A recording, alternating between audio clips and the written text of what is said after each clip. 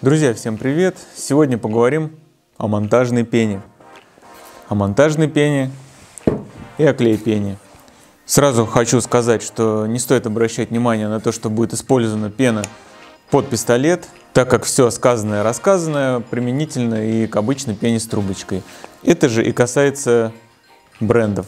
Я специально заклеил баллон малярной лентой, чтобы вы, во-первых, не подумали, что это реклама, да и все свойства у пен разных производителей плюс-минус похожи. Главное, читайте инструкцию перед применением и особое внимание уделите сроку годности, так как монтажная пена имеет ограниченный срок годности от 12 до 18 месяцев, в зависимости от производителя.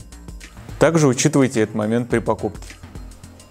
Клей пена, кстати, имеет очень хорошие клеевые свойства, как видно из названия. Но и обычная монтажная пена тоже при необходимости может склеить. Но нужно учитывать, что монтажная пена сильнее расширяется. Обратите на это внимание при использовании. Для демонстрации прочности склею вот эти две деревяшки.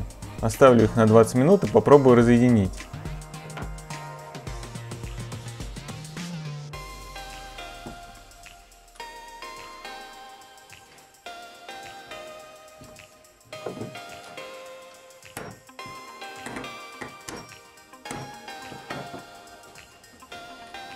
Как видим, довольно-таки прочно. Если оставить на ночь, то разъединить будет еще сложнее.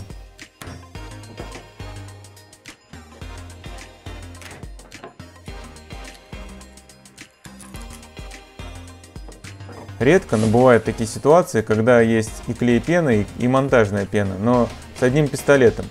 Оба баллона почти полные. Но вот сейчас очень нужна, например, именно монтажная пена. Как быть? Можно ли перекинуть пистолет? Как вы знаете, работать с пеной надо перевернув баллон. Тогда воздух в баллоне поднимается ко дну и выдавливает пену. Так вот, используя эти знания, мы можем менять полные баллоны между собой, просто держа пистолет вверху. Выйдет капля пены и немного газа. Это ничего страшного. Главное не оставлять эту пену на резьбе, вокруг и внутри клапана. Для этого есть специальные очистители пены, растворители, но я для себя открыл интересную находку, вот такую многоцелевую смазку. Купил давным-давно в светофоре за копейки, и она, оказывается, хорошо удаляет пену.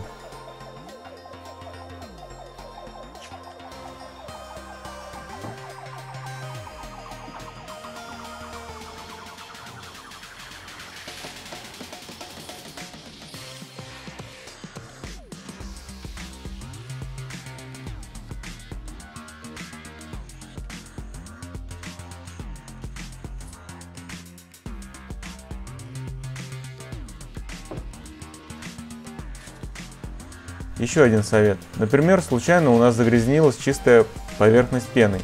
Не спешите ее сразу удалять, так как след от пены легче удалить, если она немного подсохнет. Для демонстрации покажу, как я пытался удалить совсем свежую пену и пену, которая полежала 10 минут. Как видим, результат очевиден. На тех местах, где пена подсохла, ее следов практически не осталось. А что делать, если вдруг нужно что-то запенить небольшое, а пистолет, как назло, сломался, забился или потерялся? Конечно, если предстоит большой объем работ, то надо чинить или покупать новый. Но если запенить надо всего пару щелей, то подойдет вот такой интересный способ, для которого понадобится обычная шариковая ручка и пробка от бутылки. Сейчас я все немного порежу и посверлю, и увидите, что получится.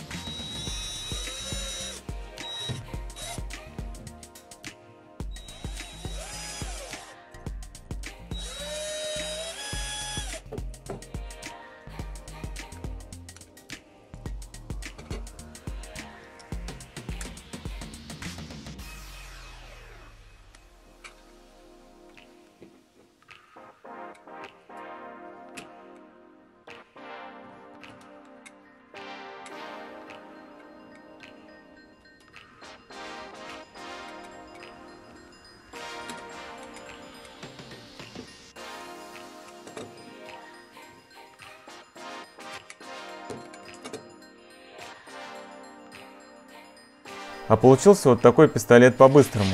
Если нет нормального под рукой, а запенить надо, то вполне рабочий вариант. После использования детали можно пролить растворителем или той же смазкой. Друзья, вот такой сегодня ролик получился. Если информация оказалась полезной для вас, то поставьте лайк и черканите пару слов в комментариях, что знали, а что нет. Я лично до этого ролика не знал, что у пены есть срок годности. А вы знали? Также, друзья, подписывайтесь на канал, если еще не подписаны, и жмите на колокольчик, чтобы не пропускать новые полезные видео. Всем спасибо за просмотр, пока-пока.